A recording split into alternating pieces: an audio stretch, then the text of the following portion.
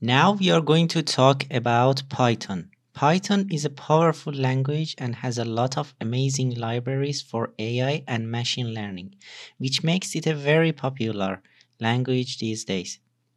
Since you already know PHP and you are familiar with the programming concepts in general, transitioning to Python is going to be very easy and quick. In this video, we'll walk through the top concepts that you should know when transitioning from PHP to Python. One of the first thing you'll notice in Python is no curly braces and use of indentation.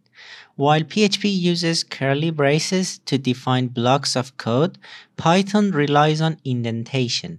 Proper indentation in Python is crucial for the code to run correctly and also there are no semicolons. In PHP, variables are prefixed with dollar sign, but in Python, variable names do not use any prefixes. Both PHP and Python are dynamically typed, which means you don't need to declare variable type explicitly, which makes them very powerful and very easy. Working with strings are very common in almost all the programs we write.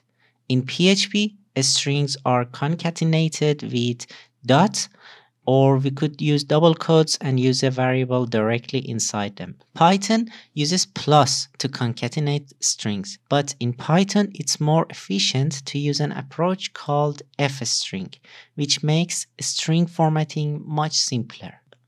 Arrays are very important and in PHP arrays are very versatile and can be used for both indexed arrays and associative array. In Python, these concepts are split into lists which are like indexed array in PHP and dictionaries which are like associative arrays. Lists are defined like arrays in PHP, but dictionaries look more like a JSON file. Loops and iterations are quite similar in both languages. One of the main difference is that PHP uses parentheses, but in Python there are no parentheses, not in loops, not in conditions. In Python, there is no for each, but for can be used like for each in PHP or normal for in PHP. Both are very close to the English language, which makes them very easy to read. In PHP, it's like the sentence for each fruits as fruit, and in Python, it's like the sentence for fruit in fruits. While loop is almost identical in both languages. The concept of null and handling it it's very important. In PHP we call it null, but in Python it's called none. In PHP, we can check if a value is null by both of these ways. And in Python, we write if that value is none. Other than that, you can see writing the conditions with if and else is also identical in both languages. Like in loops, in Python, we don't use parentheses. PHP and Python both support object-oriented programming, which makes both of the languages really powerful but the way we handle and define a class in Python is quite different. For the construct method in PHP, we use init in Python. In PHP, we use this, and for static methods, we use self. In Python, we use self, but the thing that might be a bit strange for PHP developers is the concept of self in Python classes. In Python, you have to pass self as the first argument of each function of the class. But it doesn't have to be named self. You can call it anything. But for better reading, almost everyone is using self as a naming convention. Also, there are no specific keywords for accessibility of the properties and methods.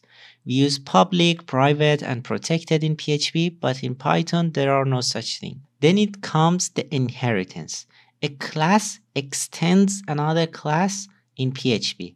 But in Python, you pass the parent class as an argument. When creating an object of that class in PHP, we use the keyword new. But in Python, it doesn't need that.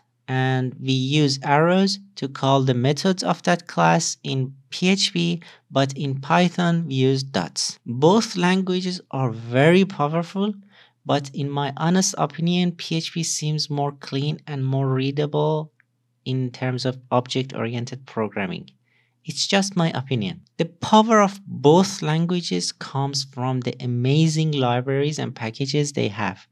In PHP, we use Composer for package management. The equivalent of that in Python is pip. PHP, we run Composer require some package. Then in our file, we require the vendor autoload and then start using the classes of that package. In Python, we run pip install some package and then we import the whole package by calling import some package or you can import only part of it and to do that we say from that package import some class. Another very useful concept is exception handling. In PHP we use try catch in Python, it's try except. Again, there are no parentheses in Python. Nowadays, with so many APIs that are out there, knowing how to use them is also very important. In PHP, we can simply use curl or we could use some packages like Guzzle. In Python, we can import the requests library and then use that for our API calls. Overall, Transitioning from PHP to Python requires to adapting to new syntax rules and conventions, but the underlying concepts remain familiar. As we have seen in other videos, you can start machine learning and AI development with the libraries that are out there for PHP, but Python is more popular in AI community and Python's rich ecosystem makes it an excellent choice for PHP developers like you looking to expand their skill set. That's it. Enjoy coding.